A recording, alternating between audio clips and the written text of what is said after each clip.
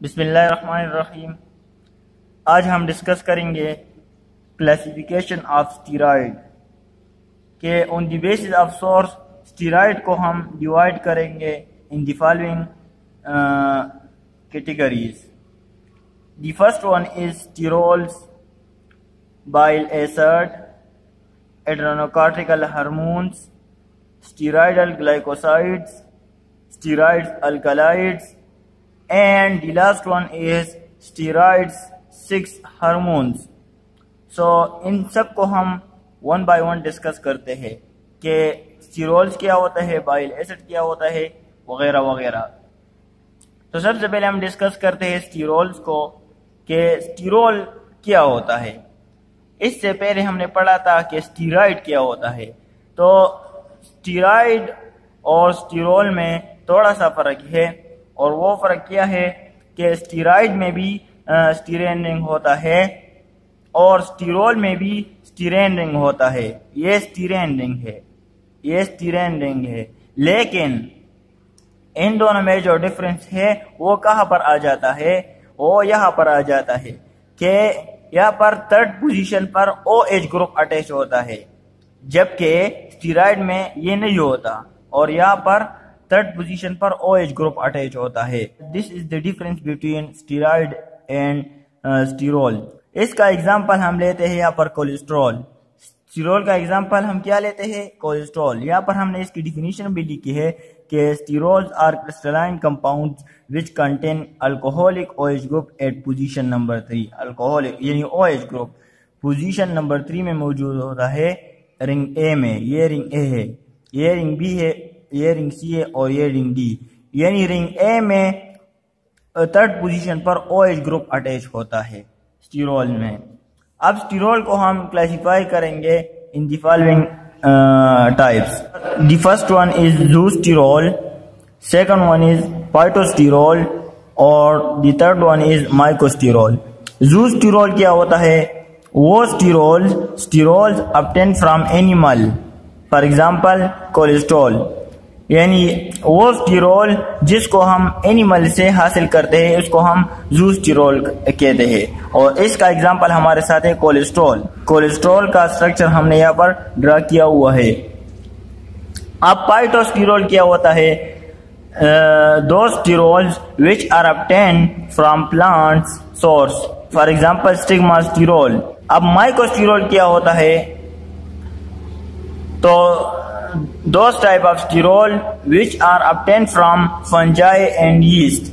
Myco covered mycology से निकला है और mycology is the study of fungi तो वो स्टीरोल जिसको हम अपटेन करते हैं फंजाई और यीस्ट से फॉर एग्जांपल अर्गोस्टीरोल अब इन सब एग्ज़ाम्पल को हम स्ट्रक्चर से समझते हैं कि जूस्टिरोल का एग्ज़ाम्पल कोलेस्ट्रॉल है और इसका स्ट्रक्चर क्या है? पाइटोस्टिरोल का एग्ज़ाम्पल स्टिग्मास्टिरोल है, इसका स्ट्रक्चर क्या है? और माइकोस्टिरोल का एग्ज़ाम्पल अर्गोस्टिरोल है और इसका स्ट्रक्चर क्या है? तो examples of sterol the first one is zoosterol जिसको हम एनिमल से हासिल करते हैं और इसका एग्ज़ाम्पल है कोलेस्ट्रॉल तो इसका स्ट्रक्चर क्या है? फाइव और सिक्स पोजीशन पर आप देख सकते हैं कि ये फाइव पोजीशन है, ये फाइव और ये सिक्स तो फाइव और सिक्स पोजीशन पर आप लोग देख सकते हैं कि यहाँ पर अनसेचुरेशन है और रिंग ए में थर्ड पोजीशन पर O H alcoholic group attach है. तो इसको हम कोलेस्ट्रॉल कहते हैं, जो जूस्टिरोल का एग्ज़ाम्पल है. और इसके साथ साथ यहाँ पर साइड चेन भी मौजूद होती है। लेकिन यहाँ पर ये सेचुरेटेड है। अनसेचुरेशन इसमें नहीं है।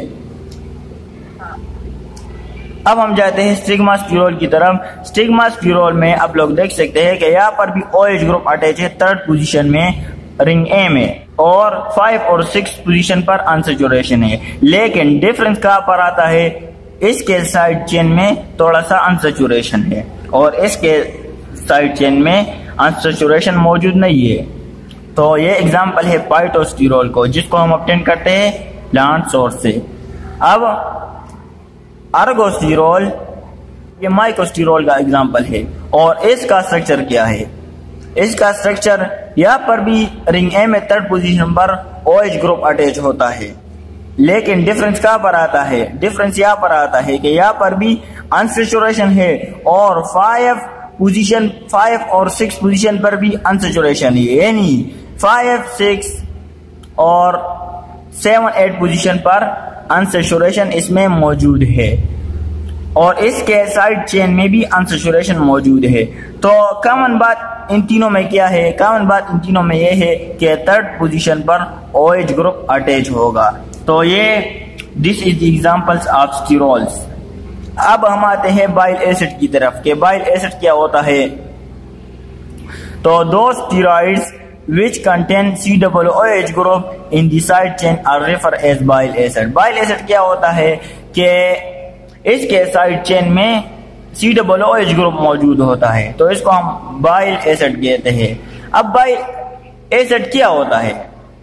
So it is actually the of liver which is store in the bladder ये सिक्रीशन ऑफ़ लिवर होती है और वो स्टोर कहाँ पर होता है? गल ब्लेडर में स्टोर होता है। तो इसको हम क्या कहते हैं? इसको हम बाइल एसिड कहते हैं। Bile acid is the hydroxide derivatives of either 5 beta colonic acid or 5 alpha colonic acid.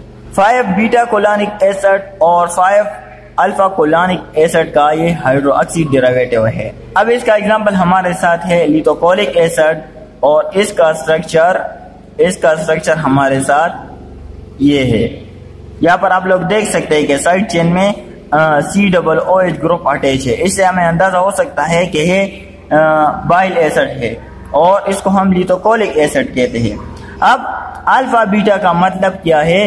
ये कन्फिगरेशन को ज़ाहिर करता है कि इसकी कन्फिगरेशन क्या है। इसको हम इंशाल्लाह आगे पढ़ेंगे कि ये क्या होता है? फाइव, बीटा और अल्फ़ा।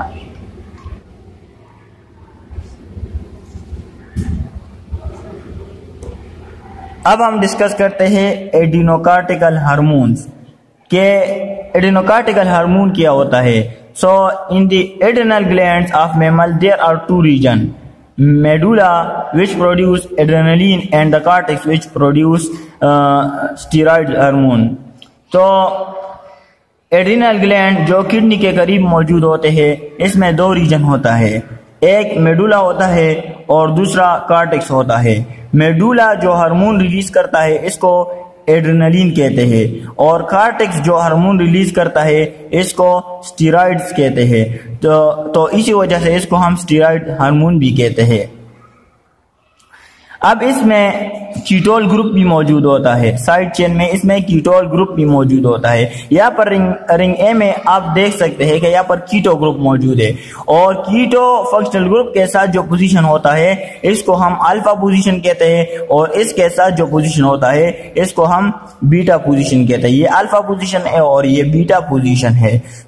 और इसको आल्डोस्टिरोन कहते हैं। ये किस चीज़ का स्ट्रक्चर है? ये आल्डोस्टिरोन का स्ट्रक्चर है। यहाँ पर आप लोग देखिए, यहाँ पर कीटो ग्रुप मौजूद है कीटो ग्रुप मौजूद है और ये अल्कोहलिक ग्रुप मौजूद है। तो की कीटोन के लिए यूज़ होता है और ऑल ओएच ग्रुप के लिए यूज़ होता है। तो इसको हम कंबाइन फॉर्म में कीटोल ग्रुप कहते हैं। ये कीटोल ग्रुप मौजूद है। और यहाँ पर आप लोग देख सकते हैं कि वेरियंट डिग्री ऑफ़ ऑक्सीजन भी मौजूद होता है। वेरियंट डिग्री का मतलब क्या है? इसकी फंक्शनैलिटी मुख्तलिफ़ होती है। Either it is in the form of either functional group or it is in the form of alcoholic functional group. So, यहाँ पर हमने अल्डोस्टिरोन का एग्ज़ाम्पल लिया हुआ है। अब हम आते हैं स्टीराइडल ग्लाइकोसाइड की तरफ़ के स्टीराइडल ग्लाइकोसाइड क्या होता है? तो those steroid which are mainly obtained from plants and differ in the structure of the side chain इसमें डिफरेंस कहाँ पर आ जाती है? डिफरेंस यहाँ पर आ जाती है कि यहाँ पर ग्लूकोज का एक यूनिट मौजूद होता है। These steroid have the property of stimulating heart muscle और also call cardiotonic glycoside upon hydrolysis it give one or more sugar अब इसमें क्या होता है? यहाँ पर एक ग्लूकोज यूनिट मौजूद होता है। यहाँ पर जब हम इसकी हाइड्रोलिस करते हैं यहाँ पर तो इससे एक ग्लूकोज यूनिट जुदा हो जाती है। जब एक ग्लूकोज यूनिट यहाँ से जुदा हो जाती है तो बाकी जो पोर्शन रह जाता है, ये वाला ये वाला जो पोर्शन रह जाता है, इसको हम जिनीन कहते हैं। या इसको हम कहते हैं ए ग्लाइकोन इसको हम क्या कहते हैं? ए ग्लाइकोन और इस कंपाउंड का नाम क्या है? Digitoxigenin digitoxigenin तो it is the steroidal glycoside के स्टीराइडल ग्लाइकोसाइड का मतलब क्या है? इसमें स्टीरेंडिंग भी होता है। स्टीरेंडिंग तो ऑलरेडी इसमें मौजूद होता है और इसके साथ साथ यहाँ पर अल्कोहल फंक्शनलिटी भी मौजूद होती है। ये एजाटोनिक इस्तेमाल होता है for stimulating heart muscle so that's why इसको कार्डियोटोनिक ग्लाइकोसाइड भी कहा जाता है। अब हम आते हैं स्टीराइडल अल्कलाइड की तरफ़। अल्कलाइड क्या होता है? सो स्टीराइडल अल्कलाइड्स की तरफ़। So, those steroids which are obtained from plants and contain nitrogen inside chain as heterocyclic ring. तो वो स्टीराइड जिसको हम प्लांट से ऑप्टेन करते हैं और इसके साइड चेन में एक हेट्रोसाइक्लिक रिंग होता है और इसके साथ नाइट्रोजन मौजूद होता है। यानी हेट्रोसाइक्लिक रिंग में नाइट्रोजन मौजूद होता है। और इसका एग्ज़ाम्पल हमारे साथ है कोनिसिन एंड सोलोनिडीन सोलोनिडीन एक्सेट्रा ये कोनोसिन का स्ट्रक्चर है। कुछ इस तरह का स्ट्रक्चर मुझे मिला है तो ये कोनोसिन का स्ट्रक्चर यहाँ पर है। अब हम आते हैं steroid sex hormone steroid sex hormone क्या होता है? So the hormones belong to steroid class of a compound and are produced in the gonads. The six hormones are responsible for the sexual processes and for the secondary characteristic that differentiate male from female. तो दो तरह के six hormone हमारे साथ होते हैं एक होता है मेल सिक्स हार्मोन और इसका एग्जांपल हमारे साथ है टेस्टोस्टिरोन दूसरा होता है female sex hormone female sex hormone और इसका एग्जांपल हमारे साथ है ऑस्ट्रोजेंस ऑस्ट्रोजेंस तो ये क्या करता है?